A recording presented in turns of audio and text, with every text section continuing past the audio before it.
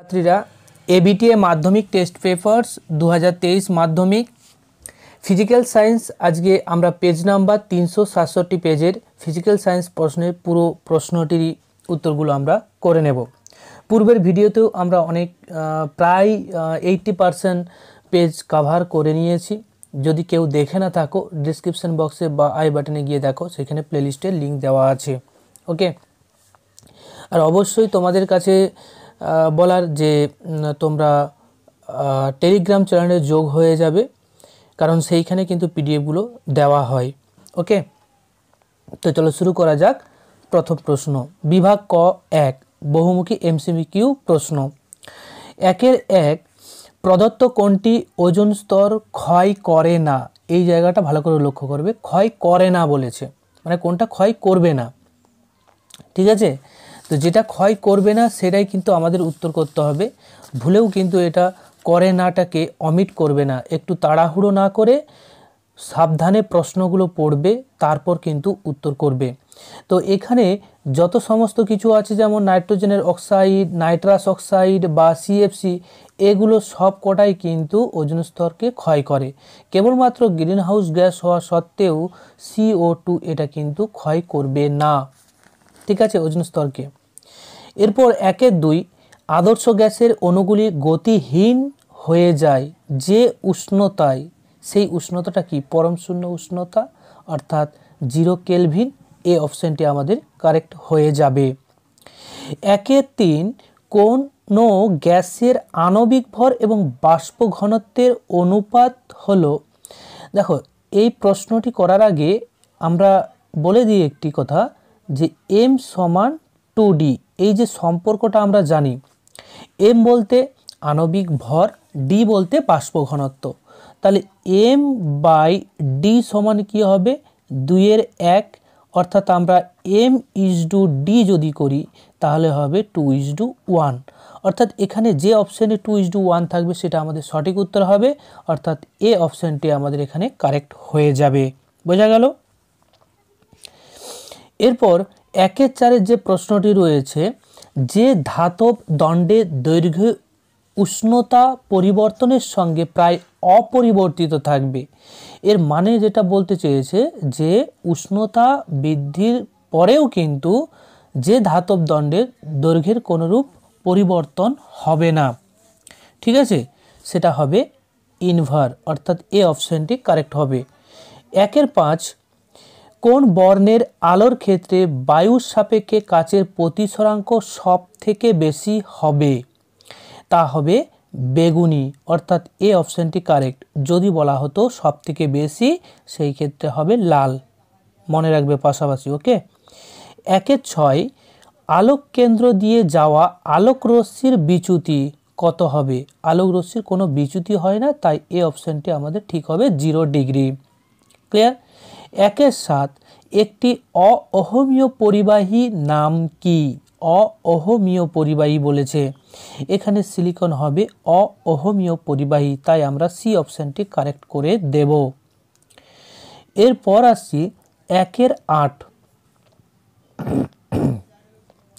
Volt V joule J এবং coulomb C এদের মধ্যে সম্পর্কটা কি হবে? আমরা জানি এক, জুল সমান এক ভোল্ট ইন্টু এক কুলাম। ঠিক আছে? তাহলে এখানে সি অপশানটি আমাদের কারেক্ট হয়ে যাবে। আশা করি বোঝাতে পারলাম?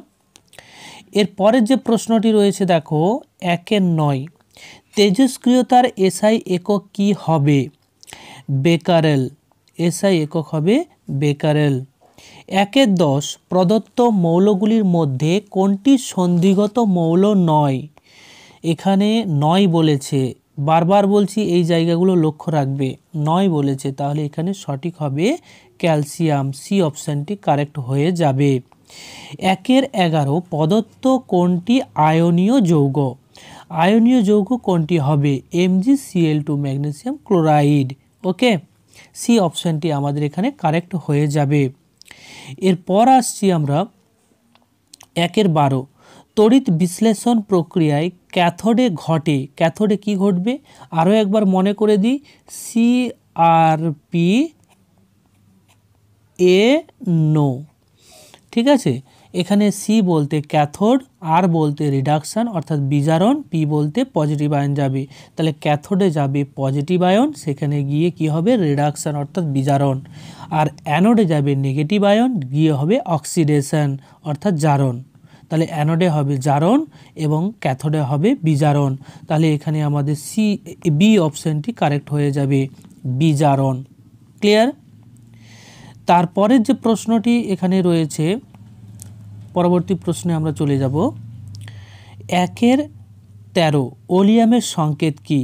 H two S two O seven B অপশানটি আমাদের কারেক্ট হয়ে যাবে। একে চোদ্দ, কোনটি থার্মিট পদ্ধতিতে বিজারক রূপে ব্যবহার করা হয়? এখানে অ্যালুমিনিয়ামটি সঠিক, অর্থাৎ সি অপশানটি আমাদের কারেক্ট হবে। ঠিক আছে? তারপরে আসছি একের পনেরো, মিথেনের প্রতিটি কার্ব হাইড্রোজেন কার্বন, হাইড্রোজেন কোণের মান কত? এখানে আরও দুই এক কথা বলে রাখি, জেনে নাও জিনিসটি। মিথেনের ক্ষেত্রে আমরা যদি গঠনটি দেখি, তো আমরা দেখব চতুস্থলকীয় গঠন, ঠিক আছে? এবং কার্বনের যদি হাইব্রিডাইজ মানে সংকরায়ন দেখি, তা হবে এসপি টু এসপি থ্রি সংকরায়ন, ঠিক আছে? এসপি থ্রি সংকরায়ন, যেটা জ্যামিতিক আকৃতি হবে চতুস্থলকীয় ওকে এবং এদের প্রত্যেকটি কোণের মান হবে একশো ন ডিগ্রি আঠাশ মিনিট, অর্থাৎ এখানে ডি অপশানটি আমাদের কারেক্ট হয়ে যাবে একশো ন ডিগ্রি আঠাশ মিনিট, বোঝা গেল? আর মিথেনের ক্ষেত্রে কিন্তু কার্বন হাইড্রোজেন বন্ধন কিন্তু সমযোজী বন্ধন।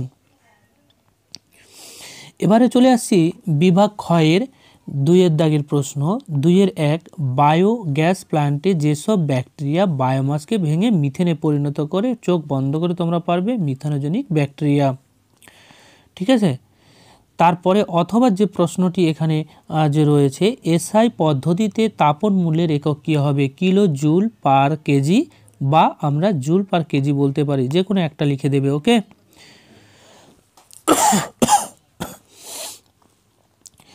দুয়ের দুয়ের যে প্রশ্নটি আছে, বায়ুমণ্ডলে কোন স্তরে ঝড় বৃষ্টি হয়?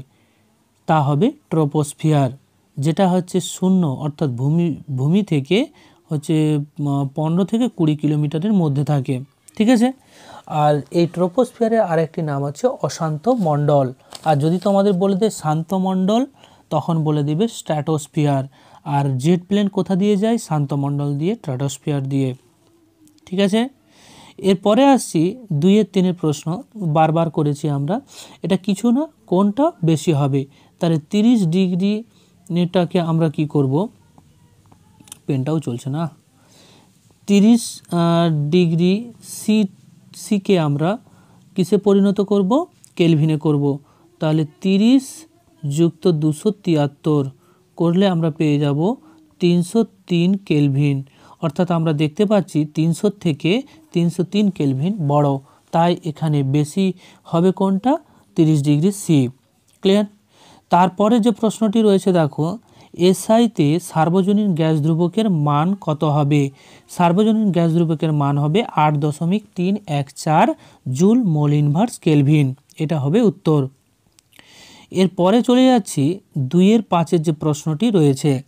কঠিন পদার্থের ক্ষেত্রে ক্ষেত্র প্রসারণ গুণাঙ্ক এবং দৈর্ঘ্য প্রসারণ গুণাঙ্ক, আয়তন প্রসারণ গুণাঙ্কের মধ্যে সম্পর্ক। ঠিক আছে? তো আলফা সমান হবে বিটা বাই টু এবং গামা বাই থ্রি এই সম্পর্কটি লিখে দেবে। ঠিক আছে? তারপরে অথবা যে প্রশ্নটি রয়েছে তাপ পরিবাহিতাঙ্ক কোন বিষয়ের ওপর নির্ভর করে? ঠিক আছে? তাপ পরিবাহিতাঙ্ক পরিবাহীর ভর এবং উষ্ণতা ও পরিবাহীর মধ্য দিয়ে কত সময় তড়িৎ প্রবাহিত হচ্ছে তার ওপর কিন্তু নির্ভর করবে। ক্লিয়ার? এর পরের দুইয়ের ছয়ের যে প্রশ্নটি রয়েছে, দেখো। শূন্যস্থান পূরণ করো। সুস্থ, স্বাভাবিক মানুষের চোখের ক্ষেত্রে নিকটতম বিন্দুর দূরত্ব কত হবে? পঁচিশ সেন্টিমিটার। তারপরে দুইয়ের সাথে যে প্রশ্নটি এখানে রয়েছে, একটি বস্তুকে একটি উত্তর লেন্সের ফোকাসে রাখা হলে বস্তুটির প্রতিবিম্ব কোথায় গঠিত হবে? অসীমে গঠিত হবে। তারপরে দুইয়ের আটের যে প্রশ্নটি এখানে রয়েছে, একটি কোষের তড়িৎচালক বল ই ভোল্ট কোষের ধনাত্মক মেরু থেকে ঋণাত্মক মেরুতে একক কোলাম আধান নিয়ে যেতে কত কার্য করতে হয়? ই জুল পরিমাণ কার্য করতে হবে। তারপর দুইয়ের তিন থ্রি পিন প্লাগের লম্বা মোটা পিনটি কি নির্দেশ করবে? আর্থিংকে নির্দেশ করবে। দুইয়ের দশের যে প্রশ্নটি এখানে রয়েছে, কোনো তেজস্ক্রিয় পরমাণু থেকে কোনো, কোন তেজস্ক্রিয় রশ্মি, এখানে বলেছে কোন তেজস্ক্রিয় রশ্মি নির্গত হলে পারমাণবিক সংখ্যা অপরিবর্তিত থাকবে, তা হচ্ছে গামা রশ্মি। যদি আলফা রশ্মি নির্গত হতো, তাহলে সেই ক্ষেত্রে পারমাণবিক ক্রমাঙ্ক দুই কমে যেত। আর যদি বিটা রশ্মি নির্গত হতো, পারমাণবিক ক্রমাঙ্ক এক বেড়ে যেত। এটাও কিন্তু পাশাপাশি মনে রাখবে এবং খাতায় নোট করে নেবে। ক্লিয়ার? অথবা যে প্রশ্নটি দেখো, ভরের মানের নিম্নক্রম অনুসারে আলফা, বিটা, গামা রশ্মিগুলি সাজাও। তো ভর সব থেকে বেশি হবে আলফা, তারপর বিটা, তারপর হচ্ছে গামা। এরপরে বাম স্তম্ভ, ডান স্তম্ভ মিলিয়ে লিখো। এখানে মিলিয়ে লেখা আছে, তোমরা শুধু দেখে নেবে। ঠিক আছে? লোহায় মোর্চা ধরা, এটা কিন্তু জারণ বিক্রিয়া। প্রথম পর্যায়ে অবস্থিত নিষ্ক্রিয় মৌল হিলিয়াম। পিতলে থাকে কপার বা তামা। ধাতব যৌগ থেকে ধাতু নিষ্কাশন, তা হবে বিজারণ প্রক্রিয়া। ক্লিয়ার? কার্বন বিজারণ আমরা জেনে এসেছি, তাই না? সেই বিজারণ প্রক্রিয়া।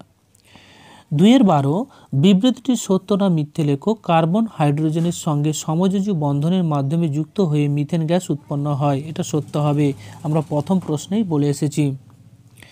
তারপরে আসছি দুইয়ের তেরো রূপোর তড়িৎ লেপনে তড়িৎ বিশ্লেষ্য হিসেবে কি ব্যবহার করা হয়? পটাশিয়াম, আর্জেন্টো, সায়ানাইড কে এজিসিএনের হোল টু এটা হচ্ছে সংকেত। এরপর আসছি অথবার প্রশ্ন।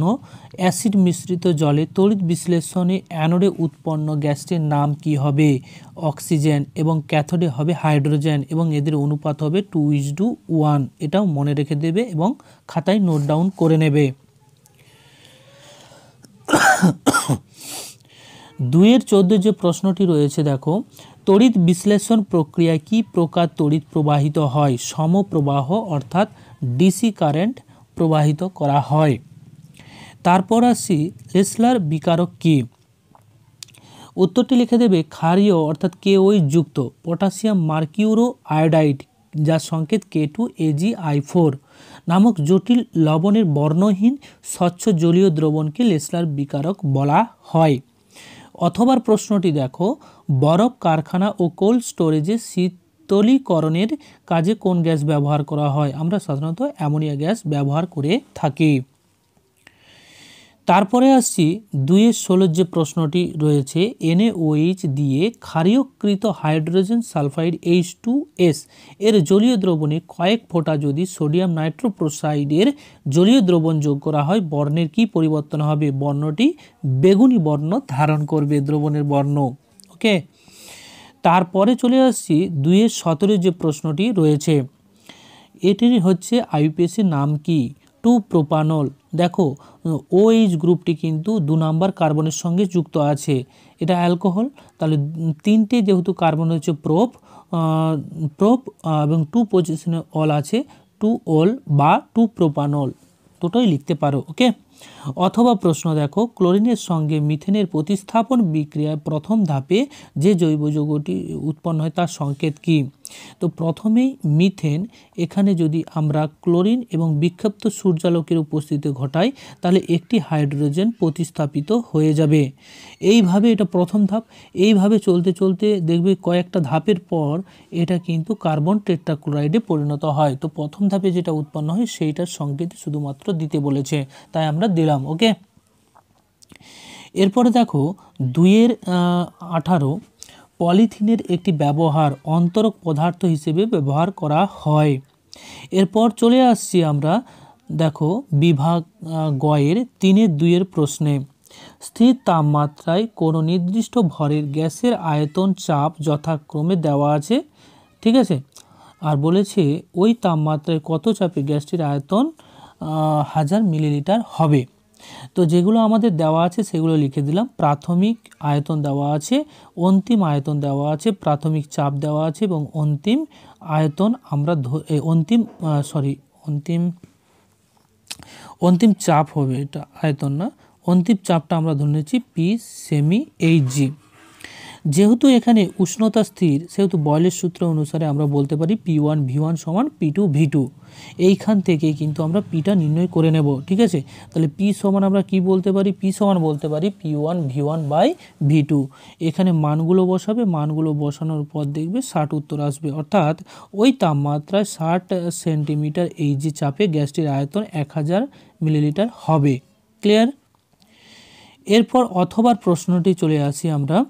যে উষ্ণতায় আঠাশ গ্রাম নাইট্রোজেন গ্যাসের আয়তন দুই দশমিক পাঁচ ছয় এটিএম চাপে দশ লিটার হয়, সেই উষ্ণতা নির্ণয় করো। আর এর মান দেওয়া আছে লিটার অ্যাটমসফিয়ার, ওকে?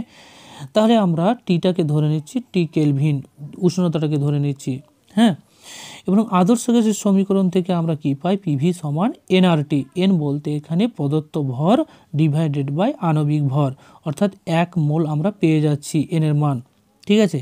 এন তো মোল সংখ্যা, তো এক মোল পেয়ে যাচ্ছি। এবং পি এর মান দেওয়া আছে ভি এর মান দেওয়া আছে। আমরা টি এর মান অবশ্যই পেয়ে যাব এখান থেকে টি এর মানটি, ঠিক আছে?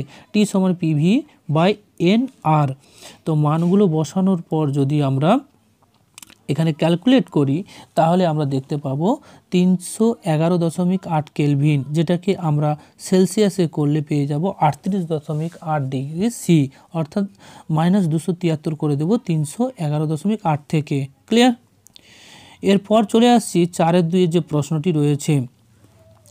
একুশ গ্রাম লোহিত তপ্ত আয়রনের উপর দিয়ে স্টিম চালনা করলে কি পরিমাণ হাইড্রোজেন পাওয়া যাবে? এসটিপিতে আয়তন কত? সেটাও আমাদের নির্ণয় করতে হবে। তো বিক্রিয়ার সমিত সমীকরণটি লিখে দেবে লেখার পর দেখতে পাচ্ছি দুটো আয়রন, সেখান থেকে আমরা তিনটে হাইড্রোজেন অণু পাচ্ছি। তিন অণু হাইড্রোজেনের ভর কত? ছয় গ্রাম। এবং দুই দুটি আয়রনের ক্ষেত্রে আণবিক ভর হয়েছে একশো বারো গ্রাম। তাহলে দেখো, এখানে আমরা উত্তরটি সহজেই করতে পারব। বিক্রিয়া অনুসারে বিক্রিয়া অনুসারে একশো বারো গ্রাম আয়রন জলের সঙ্গে বিক্রিয়া করে হাইড্রোজেন উৎপন্ন করছে ছ গ্রাম। একে কত এবং পদার্থ যেটা একুশ গ্রাম, তাতে কত? বের করে দিলে আমরা উত্তর পেয়ে যাচ্ছি এক দশমিক এক দুই পাঁচ গ্রাম। তাহলে উৎপন্ন হাইড্রোজেনের পরিমাণ এক দশমিক এক দুই পাঁচ গ্রাম। এরপর এসটিপিতে আয়তন চেয়েছে, তাহলে আয়তনটি আমরা নির্ণয় করে দেব। এসটিপিতে এক মোল হাইড্রোজেনের আয়তন বাইশ দশমিক চার লিটার, এখানে তিন মোল হাইড্রোজেন উৎপন্ন হয়েছে, তাই তিন মোলে কত হবে? তিন দিয়ে গুণ করে দেব, করে দিলে সাতষট্টি দশমিক দুই লিটার আসবে, যেটা আমাদের উত্তর হয়ে যাবে সেকেন্ড উত্তর। ক্লিয়ার এরপরে চলে আসছি অথবার প্রশ্ন।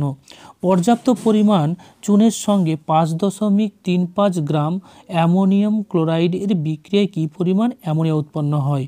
ওই অ্যামোনিয়াতে অ্যামোনিয়ার অণুর সংখ্যা কত হবে? তো প্রথমেই বিক্রিয়ার সমিত সমীকরণটি আমরা লিখে দেব এবং এখানে দেখতে পাচ্ছি দুই অণু অ্যামোনিয়াম ক্লোরাইড এবং সেখান থেকে দুই অণু বা দুই মোল আমরা পেয়ে যাচ্ছি অ্যামোনিয়া। ঠিক আছে? তার ভরটি আমরা নির্ণয় করে দিলাম একই রকমভাবে। ঠিক আছে? আণবিক ভর। এরপর বিক্রিয়ানুসারে আমরা বলে দিতে পারি যে একশো সাত গ্রাম অ্যামোনিয়াম ক্লোরাইড থেকে আমরা চৌত্রিশ গ্রাম অ্যামোনিয়া পাচ্ছি। তাহলে পাঁচ দশমিক যেটা পদার্থ দেওয়া আছে, অ্যামোনিয়াম ক্লোরাইড, সেখান থেকে কতটা অ্যামোনিয়া পাবো? সাত, এক দশমিক সাত গ্রাম অ্যামোনিয়া। তাহলে বিক্রিয়ায় এক দশমিক সাত গ্রাম অ্যামোনিয়া উৎপন্ন হচ্ছে। এরপর আমাদের লক্ষ্য রাখতে হবে এসটিপিতে দেখো যে এক মোল পরিমাণ অ্যামোনিয়া, ঠিক আছে? তার ভর কত হবে? তার ভর হবে সতেরো। তাহলে সতেরো গ্রাম অ্যামোনিয়ার অণুতে কত সংখ্যক অণু থাকবে? অ্যাভোগাডোর সংখ্যক অণু থাকবে এবং এক দশমিক সাত গ্রামে কত থাকবে? ভাগ করে দেব। এই দুটো কাটাকাটি হয়ে যাবে। নিচে দশ পড়ে থাকবে, তাই না? তাহলে দশ নিচে থাকলে উপরে যদি উঠে যায়, তাহলে একটা শূন্য কমে যাবে। তাহলে এটা কত হবে? টেন টু দেবার বাইশ হয়ে যাবে। ঠিক আছে? এটা আমাদের উত্তর হয়ে যাবে। চারের সাথে যে প্রশ্নটি এখানে রয়েছে, এটাও কিন্তু খুবই ইম্পর্ট্যান্ট একটি প্রশ্ন অবশ্যই করে রাখবে। এক ওহম অভ্যন্তরীণ রোধ এবং পাঁচ ভোল্ট ইএমএফ ইলেকট্রোমোটিভ ফোর্স বা তড়িৎচালক বল বিশিষ্ট একটি তড়িৎ কোষে তিন ওহম রোধের সঙ্গে যুক্ত করলে কোষের প্রান্তীয় বিভব প্রভেদ কত হবে? বাহ্যিক রোধ এখানে দেওয়া আছে তিন এবং অভ্যন্তরীণ রোধ দেওয়া আছে এখানে এক আর তড়িৎচালক বল দেওয়া আছে এখানে পাঁচ ভোল্ট। তাহলে বর্তনীর মূল প্রবাহ মাত্রা আয় সমান আমরা কি বলতে পারি? তড়িৎচালক বল বাই বাহ্যিক রোধ এবং অভ্যন্তরীণ রোধের যোগফল। করলে আমরা পেয়ে যাচ্ছি আই সমান কত পাবো? পাঁচের চার অ্যাম্পিয়ার। এবার দেখো কোষের প্রান্তীয় বিভব ভি সমান কি বলতে পারি ওহমের সূত্র অনুসারে? ভি সমান আয়ার এখানে আয়ের মান আর এর মান বসিয়ে দেব। দিলে যে পরিমাণটা আসবে সেটা ভোল্টে আসবে এবং সেটাই আমাদের উত্তর হবে। এরপরে চলে আসছি চারের ছয়। পরম প্রতিসরাঙ্ক কাকে বলে? এটা তোমরা বই থেকে করে নেবে। এটা নতুন করে আমি আর করালাম না এখানে। এর দ্বিতীয় অংশটির আমি উত্তরটি এখানে করিয়েছি। দেখো, লাল বেগুনি আলোর জন্য কোনো মাধ্যমে প্রতিসরাঙ্ক দেওয়া আছে এবং তাদের এটা প্রমাণ করতে হবে। তাহলে আমরা প্রথমে কি করব? কোনো মাধ্যমের প্রতিসরাঙ্ক মিউ এবং মিউ শ্রেণের সূত্র অনুসারে আমরা বলতে পারি মিউ সমান sine i by sine r এখানে একই আপাতন কোণ আই এর জন্য লাল এবং বেগুনি বর্ণের আলোক রশ্মির ক্ষেত্রে প্রতিসরাঙ্ক আমরা ধরে নিচ্ছি। ক্লিয়ার এরপর দেখো এই আপাতন কোণের যে প্রতিসরণ কোণ যেগুলো ধরে নিচ্ছি এবং আই একই রকম ধরেছি, তাহলে এই ক্ষেত্রে মিউ আর সমান এটা হলো এবং মিউ ভি সমান এটা হলো। এরপর দেখো, এই দুটোর অনুপাত আমরা করে নেব, কারণ অনুপাত থেকেই তো আমরা বুঝতে পারব, তাই না? তাহলে অনুপাত যদি করে নিই, তাহলে আমাদের আসবে দেখো, আই আই কেটে যাবে, সাইন আই সাইন আই কেটে যাবে, ফলে sine r v by sine r r. ঠিক আছে? আবার চ্যুতিকোণ যদি আমরা ডেল সমান ধরি আই মাইনাস আর এর ক্ষেত্রে বলা যায় আপাতন কোণ আই যদি ধ্রুবক হয়, তবে প্রতিসরণ কোণ আর যত বেশি হবে চ্যুতি ততই কম হবে। এই ভাষাগুলো অবশ্যই লিখবে। তারপরে লিখে দেবে, পরীক্ষায় দেখা গেছে, লাল ও বেগুনি আলোকরশ্মি দুটি যদি একই করে কোনো মাধ্যমে আপতিত হয়, তবে লাল আলোর কৌণিক বিচ্যুতি, বেগুনি আলোর কৌণিক বিচ্যুতি অপেক্ষা কম হয়। ঠিক আছে এটা? ক্লিয়ার এরপর দেখো, এইখানে আমরা যদি দেখি যে কৌণিক বিচ্যুতি রেডের ক্ষেত্রে এটা হবে, আর ভায়োলেটের ক্ষেত্রে এটা হবে, অর্থাৎ বেগুনির ক্ষেত্রে। ফলে এখান থেকে আই আই একই কেটে গেল। ফলে আমরা পেয়ে যাচ্ছি r capital R greater than r capital V r আমরা এই আরের মানটা যদি বসিয়ে দিই এই জায়গাতে আরের মানটা যদি এই জায়গাতে আমরা বসিয়ে দিই এইগুলোতে, বসিয়ে দিলে কিন্তু আমরা এখান থেকে পেয়ে যাচ্ছি যে আমাদের যেটা প্রমাণ করতে বলেছে, ঠিক আছে? Sine sine r r sine r v greater than হচ্ছে ওটা সাইন সাইন উভয় পক্ষ থেকে উঠিয়ে দাও, ফলে কি হবে? Mu R less than mu V বোঝা গেল? তো এটাই আমাদের কিন্তু প্রমাণ করতে বলেছে। পিডিএফটা অবশ্যই টেলিগ্রাম চ্যানেলে দিয়ে দেবো, সেইখান থেকে তোমরা দেখে নেবে। আর তোমরা ভালো করে পড়াশোনা করো এবং সামনের বছর জানুয়ারিতে তোমাদের হয়তো টেস্ট পেপার তাড়াতাড়ি দিয়ে দেবে। মধ্যশিক্ষা পর্ষদ থেকে সেই টেস্ট পেপারটা অবশ্যই আমি পুরোটাই করাবো, সেটার দিকেও লক্ষ্য রাখবে এবং ভালো লাগলে লাইক করবে আর বন্ধুদের সঙ্গে শেয়ার করবে। Okay thank you